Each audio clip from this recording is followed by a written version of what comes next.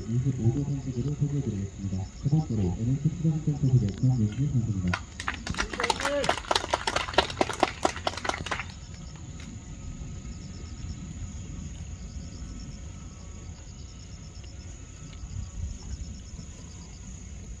다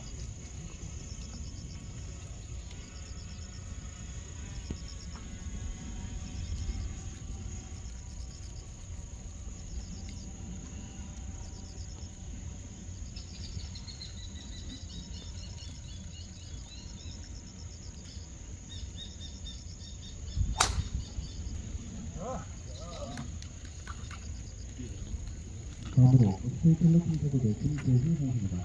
준비! 같이!